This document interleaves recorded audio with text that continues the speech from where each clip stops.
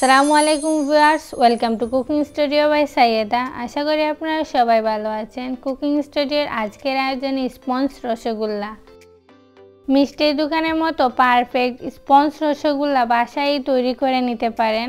সকল টিপসও আপনাদের সাথে শেয়ার করব আজকের স্পঞ্জ রসগোল্লা। দেখে নেই এর প্রস্তুত প্রণালী। প্রথমেই তৈরি করে নিচ্ছি মিষ্টির শিরা। মিষ্টি শিরাটা তৈরি করছি প্রেশার কুকারে। আমি এখানে চার কাপ পানিতে এক কাপ চিনি নিয়েছি, চারটি এলাচ, আর নিয়েছি কেওড়ার জল এক চা চামচ। কেওড়ার জল নিয়েছি ফ্লেভারের জন্য, আপনারা চাইলে স্কিপ করে নিতে পারেন। এখন নেড়ে মিশিয়ে নিচ্ছি।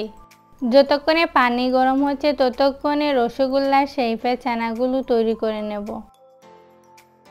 আমি এখানে এক কাপ ছানা নিয়েছি ছানা তৈরি রেসিপি আমার চ্যানেলে দেয়া আছে। ছানা তৈরি রেসিপির লিঙ্ক ডেসক্রিপশন বক্সে দেয়া আছে। আপনারা চাইলে দেখে নিতে পারেন। চানাটা তিন মিনিটের মতো ভালো করে মাখিয়ে নিয়েছি। ছানা ভালো করে মাখাতে হবে। ভালো করে না মাখালে চিনি শিরায় দেওয়ার পর মিষ্টিগুলো ফেটে যাবে। চানা সফট হতে হবে। আমি এখন লম্বা করে নিয়েছি চানা। ছুরি দিয়ে সমান ভাগে কেটে নেব।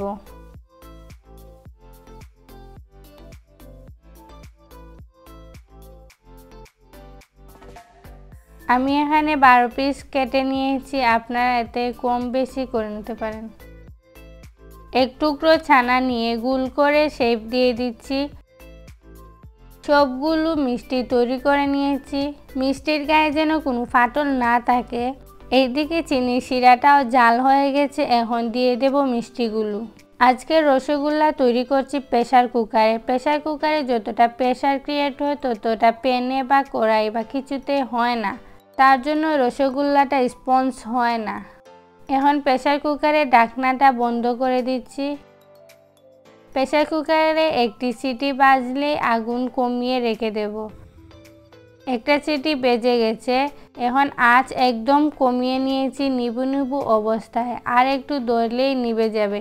এইভাবে রেখে দেব নয় মিনিট। নয় মিনিট পর নামিয়ে নিচ্ছি।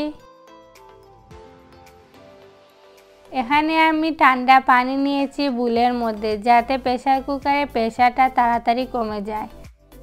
প্রেশার কুকারে প্রেশারটা কমে গেছে, এখন ডাকনা খুলে নিচ্ছি। রসগোল্লা আমি সার্ভিং বোলে নিয়ে নিয়েছি, জাফরান দিয়ে পরিবেশন করেছি।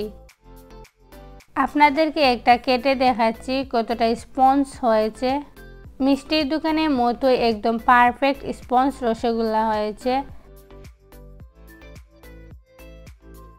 আমার রেসিপিটা ফলো করে, তৈরি করে দেখবেন। আশা করি আপনাদের রসগোল্লাটাও ভালো হবে।